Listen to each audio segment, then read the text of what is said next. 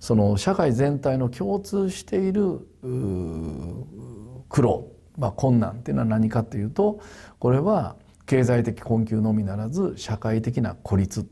これが非常に大きな問題になっているというふうにまあ考え。その中から生まれたのが伴走型支援という考え方であります。えー、断らない引き受ける。それはイコールつながるということを意味している、断らないを解決ではなくつながるということとして理解する、ね、でこれが伴走型支援なんですね。ですからこの2つの支援論でいうと解決型の支援の目的は当然解決だ。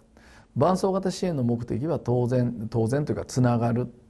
あるいはつなげるっていうのが目的だ。解決ではないんですね。